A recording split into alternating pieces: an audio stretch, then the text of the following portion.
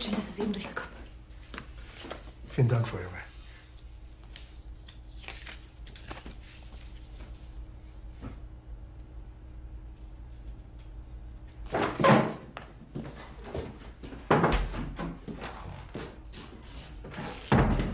Telekom von Göring.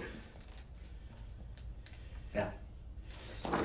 Er schreibt, mein Führer, sind Sie einverstanden, dass ich nach Ihrem Entschluss in der Festung Berlin zu verbleiben, als Ihr Stellvertreter sofort die Gesamtführung des Reiches übernehme?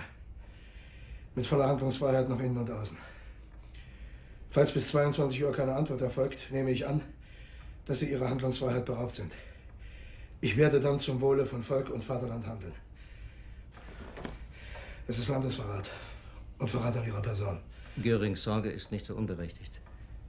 Wenn unsere Kommunikationssysteme zusammenbrechen, und das kann stündlich geschehen, dann sind wir in der Tat von der Welt abgeschnitten. Befehle und Anweisungen können dann nicht mehr übermittelt werden. Ich sehe das anders. Göring will die Macht an sich reißen. Diese Mischpurke, die sich am Obersalzberg um ihn rottet, war mir noch nie geheuer. Das riecht nach Putsch. Dieser Versager, dieser Schmarotzer. Ein paar vanille Faulpelz! Wie kann er erfahren, wenn er handlungsunfähig gemacht wird? Guten Tag, Frau Junge. Herr Speer, wie sind Sie denn noch nach Berlin reinkommen? Einfach weiß nicht. Aber ich muss noch einmal zum Führer.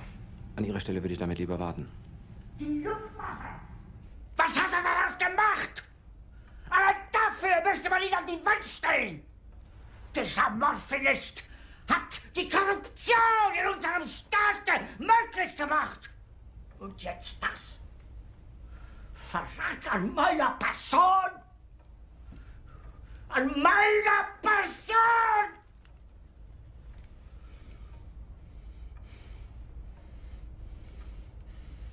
Ich will, dass Göring sofort entmachtet wird und alle Ämter aufgibt. Für den Fall, dass ich den Krieg nicht überstehe, ist der Mann auf der Stelle hinzurichten.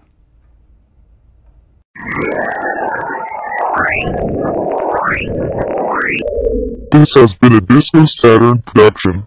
Thanks for watching. Carrot underscore carrot.